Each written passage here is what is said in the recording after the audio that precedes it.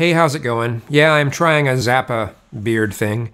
Haven't seen my chin in years, and after I lost the weight, I wanted to see that. And besides, since I've had it so short anyway, it doesn't take long to grow back out for if, if I don't really like this, so. Anyway, some people think I've suddenly made this major turn to the left wing again, and it's just like, no. My views are about the same, but Prince of Queens showed me what I don't want to be like.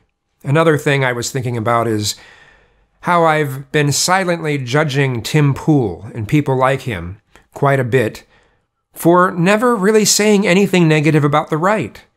It's always criticism of the left. And the left deserves the criticism that they get. Absolutely. But the right deserves criticism as well.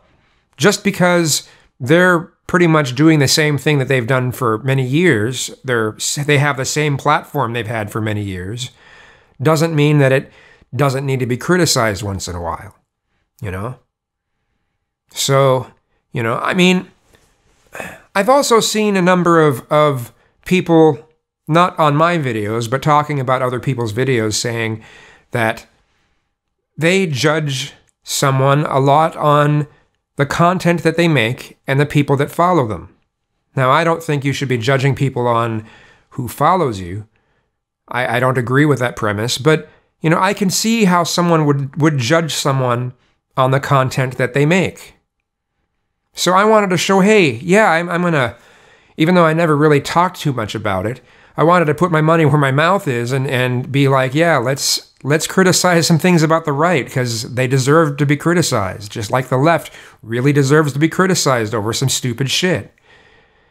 Anyway, I just thought it was important to make this video because Again, some people seem to have thought that I've made some major move over to the left. No, I'm I'm still the same independent person that I was before.